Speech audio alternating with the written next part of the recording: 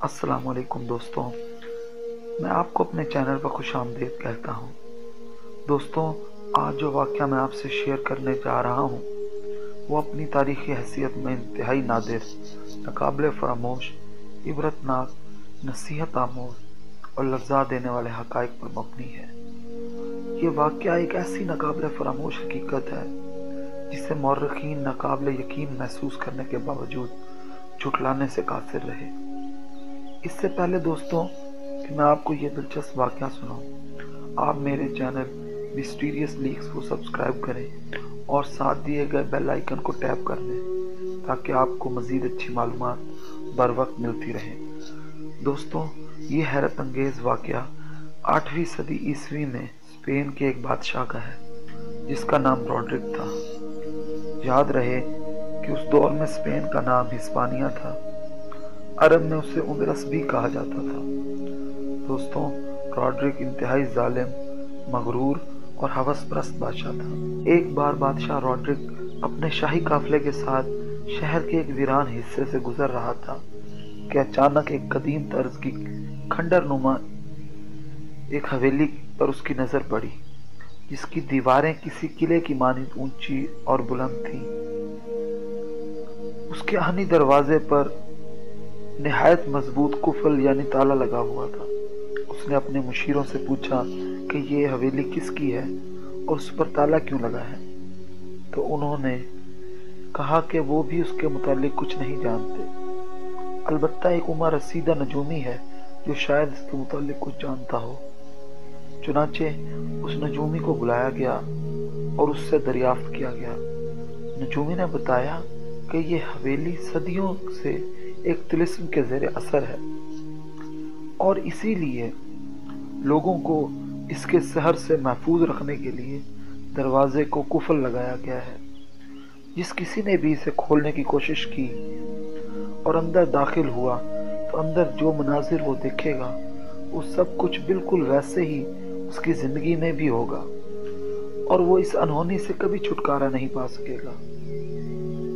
نجومی نے کہا کہ میری آپ سے التجا ہے کہ اس دروازے کو کبھی کھولنے کی کوشش مت کیجیے گا، ورنہ اس کا نتیجہ بہت برا ہوگا۔ یہ سن کر بادشاہ، جو بہت خود سر اور ضدی تھا، بے اختیار ہنسنے لگا اور کہا، میں کسی انہونی سے نہیں ڈرتا، کوئی تلسم یا جادو میرا کچھ نہیں بگاڑ سکتا۔ میں یہ راز جان کر رہوں گا کہ اس کے اندر کیا اس کے مشیروں نے بھی اسے کافی سمجھایا، پر وہ نہیں مانا۔ چنانچہ اس نے دروازے کو کھلانے کا حکم دیا۔ دروازہ کھلتے ہی وہ سب اندر داخل ہوئے۔ اندر ایک تند و تاریخ راہداری سے گزرتے ہوئے وہ ایک حال نما کمرے میں پہنچے، جس میں ایک انتہائی قدیم صندوق رکھا تھا۔ اس پر بھی تالا لگا ہوا تھا۔ چنانچہ وہ بھی بادشاہ کے حکم پر توڑ دیا گیا۔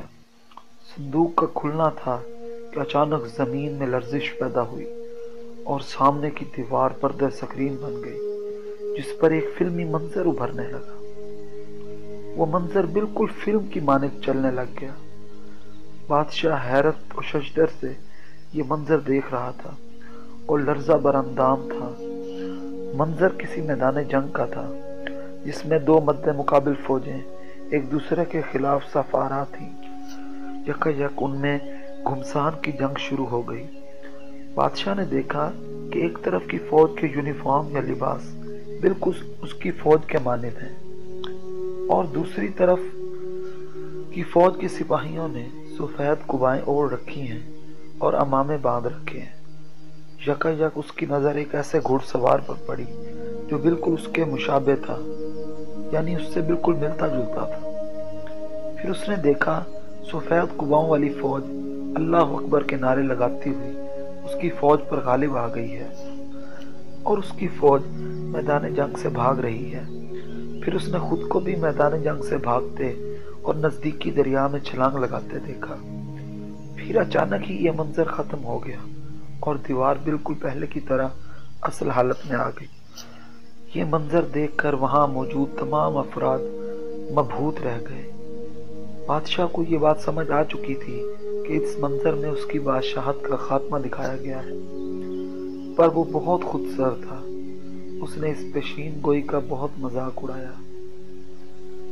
لیکن اللہ کو جو منظور ہوتا ہے، وہ تو ہو کر ہی رہتا ہے۔ چنانچہ چند سال بعد ہی افریقہ سے مسلمانوں کے بھیجے گئے ایک لشکر جس کی سربراہی اس وقت کے مرد مجاہد طارق بن زیاد کر رہے تھے۔ انہوں نے اپنے لشکر جرار سے براڈرک کو شکست فاش دی اور بادشاہ نے اپنی شکست اور دریا میں چھلانگ لگا کر خودکشی کرنا سب اپنی آنکھوں سے دیکھ لیا۔ دوستوں، یہ واقعہ نہ صرف مسلمان مورخین بلکہ مغربی مورخ جنہیں مستشرقین بھی کہا جاتا ہے۔ انہوں نے بھی اپنی کتابوں میں اسے نقل کیا ہے۔ اللہ تعالیٰ سے دعا ہے کہ ہمیں نصیحت عطا کرے۔ دوستوں، اگر آپ کو میری یہ ویڈیو پسند آئی ہو تو لائک اور سبسکرائب کرنا مت بھولیے گا۔ نئی ویڈیو تک کے لیے اجازت دیجیے۔ اللہ حافظ۔